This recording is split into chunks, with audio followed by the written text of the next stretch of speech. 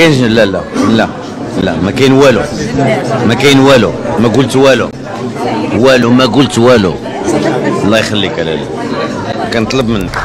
الرشوه كانت بالتخبيه دابا ولات الرشوة بالعلالي. أن هذاك المدير ديال التلفزيون كياخذ رشوة. أنه هو اللي كيسيني على مليار و200 ومليار و400 ومليار و500 و100 مليون و120 مليون. عطيها لذوك البؤساء ديالو التلفزيون السوفيا وقلتم في خطاب العرش 2017 إذا أصبح ملك المغرب غير مقتنع بالطريقة التي تمارس بها السياسة ولا يثق في عدد من السياسيين فماذا بقي للشعب؟ إما أن تقوموا بمسؤولياتكم أو تنسحبوا. يا ملكنا العزيز إنهم لا ينسحبون. إنهم لا يستقيلون. إنكم يا جلالة الملك تعفونهم من مهامهم بتعديلات حكومية وبغضبات ملكية أو تصدر في حقهم تقارير فساد فيعودون. كما أعفي وزير الشبيبة والرياضة السابق محمد أزين من مهامه وعاد نائبا لرئيس مجلس النواب. كما أعفي وزير العلاقات مع المجتمع المدني السابق الحبيب الشوباني وعاد رئيسا لجهة درعة فيلالت عن حزب عدالة والتنمية. كما اختفى الأمين العام السابق لحزب الاستقلال حميد شاباط لثلاث سنوات بتركيا تاركا مقعده بالبرلمان شاغرا بعدما فضحت الصحافة حساباته البنكية وأملاكه وعجز عن تبرير ثروته الطائلة والمفاجئة والغامضة لتتم إعادته للواجهة. يترأس مؤتمرات حزب الاستقلال طامعا في استرجاع عمودية فاس يا جلالة الملك. نقول لكم مسألة. لو كان علي اعتى على قيد الحياة وكان حاضر معكم هنا وكانت بالإمكان أن يقوم بالجولة التي قمت بها كان سيتململ في قبره ويقول نضالي هذا هو اللي اعطى هادشي كامل. الحمد لله الحمد لله. مال مال قلب الشعب إلى جهة العدالة. عاود رجعوا وشوفوا ماشي الشعب كله طبعا. ولكن إحنا الأولين.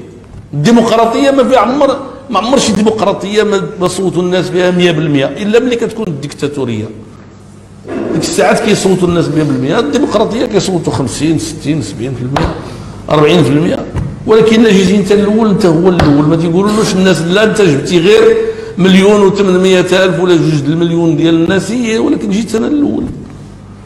انت ولا لا؟ هي هذه الديمقراطية. فهمتي؟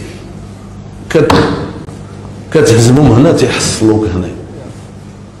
تيقول بغيتي العمل ديال كيدوز إيه ارى هاك.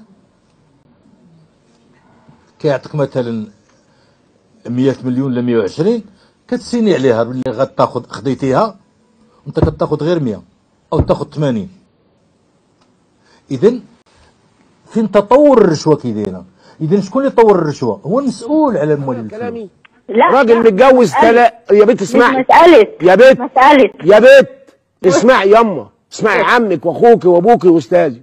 الراجل يتجوز يا أختي. على مراته لا يقول لها ولا يجيب لها سيرة. وجوازته صحيحة 100% ماشي. يا حلاوة. ينتخب يراقب داك الوعود واش طبقت أو وفاو بها أو ما وفاوش بها. علاش؟ لأن هذا هو المشكل. لأن المرأة الأخرى. تتقول هذا صوتت عليه. وما وفاش بالوعد ديالو. كي غادي نعاود نصوت عليه. واخا يجيب لي الذهب فوق خوفونا. وحاولتوا تخوفوا الشعب. وما خفناش منكم. كنطلب منك. ما قلت والو. على الحصيل على الجاي صافي. والو. صافي؟ صافي الله يخليك. والو. أنا بالنسبة لي غير العزوف اللي كاين على الانتخابات هذا بعد في نفسه تيطيح نفسه ما بقاتش الناس تثيق وهذا هو المشكل الأساسي. دابا لما تشوف هذا المشكل هذا هو مشكل الثقة. كيف تي... الناس ما بقاتش تثيق دابا ماشي في السياسيين.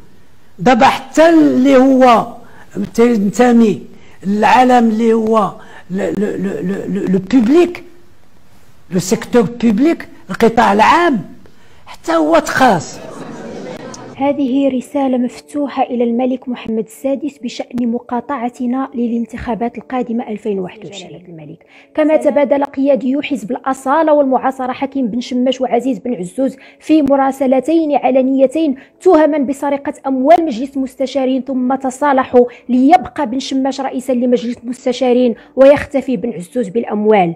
كما تم وضع شكاية لدى النيابة العامة من طرف شبيبة حزب الاتحاد الاشتراكي ضد أمينهم العام دريس الشقر بعد أن حصل مكتبه للمحاماة على صفقة أموال طائلة من التعاضدية العامة لموظفي الإدارة العمومية التي لم يكن يترأسها سوى الاتحادي عبد المولى عبد المؤمني في استغلال صارخ لصداقتهم لنهب المال العام ولا زلنا نرى دريس الشقر أمينا عاما لحزب الاتحاد الاشتراكي يفرق التزكية الانتخابية أولها لابنه على مقاطعة يعقوب المنصور بالرباط. وإن كان شي حد آخر قالها قبل مني. صوتوا على اللي بغيتيو إلا على هادو. إلا على هادو.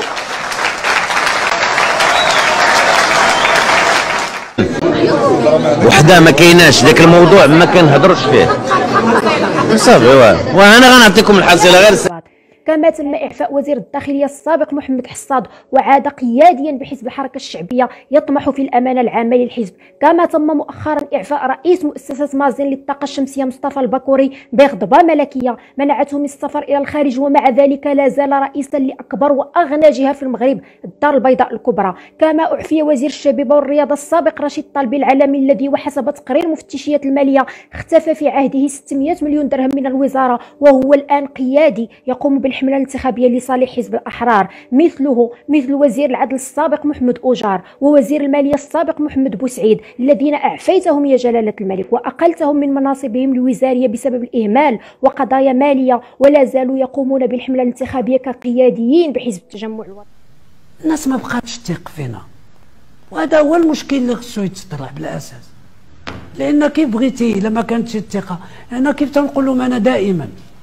يا ودي راه لا, لا اقتصاد ولا مال ولا راه تكون قبل كل شيء بالأساس ديال الثقة. والثقة علاش تتبنى؟